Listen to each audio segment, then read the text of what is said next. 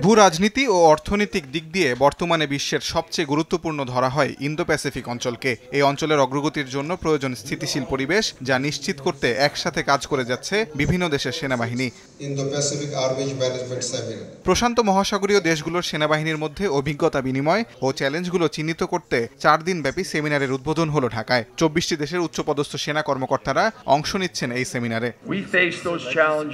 রাজধানীর একটি হোটেলে উদ্বোধনী অনুষ্ঠানে বাংলাদেশের সেনাপ্রধান ও যুক্তরাষ্ট্রের প্যাসিফিক কমান্ডের জেনারেল উপস্থিত বিভিন্ন দেশের সেনা প্রতিনিধিদের উদ্দেশ্যে বক্তব্য রাখেন। জেনারেল শফিউদ্দিন ও জেনারেল ফ্লিন তাদের বক্তব্যে প্রশান্ত মহাসাগরীয় অঞ্চলের অর্থনৈতিক ও ভূ রাজনৈতিক গুরুত্ব তুলে ধরে স্থিতিশীলতা বাড়াতে সেনাবাহিনীর সহযোগিতা বাড়ানোর আহ্বান জানান।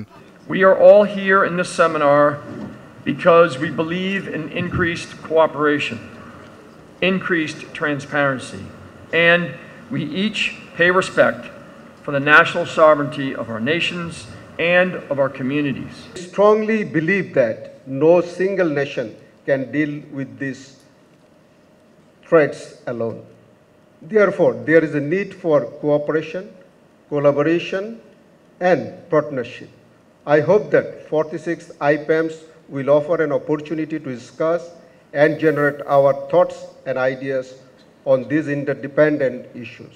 পরে এক প্রেস ব্রিফিংয়ে রোহিঙ্গা প্রত্যাবাসন বিষয়েও কথা বলেন দুই জেনারেল সফরে রোহিঙ্গা ক্যাম্প পরিদর্শনের মাধ্যমে এই মানবিক বিপর্যয় সম্পর্কে স্বচ্ছ ধারণা আসবে বলে মত তাদের response to a policy question that's going to be made by political leaders. What I will say is this as part of this program, to bring us there and, and see that with our own eyes, and then that's a better and more richer discussion that we can all have with policy leaders that make decisions about what to do.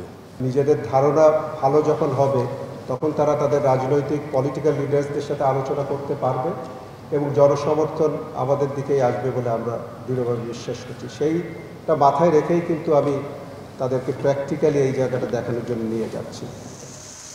এর আগে সোমবার সকালে ঢাকা ক্যান্টনমেন্টের শিখা অনির্বাণে পুষ্পস্তবক অর্পণ করে শহীদদের প্রতি শ্রদ্ধা জানান। সম্মেলনে অংশ নিতে আসা কয়েকটি দেশের জেনারেল। তাজওয়ার মাহমিদ সময় সংবাদ ঢাকা।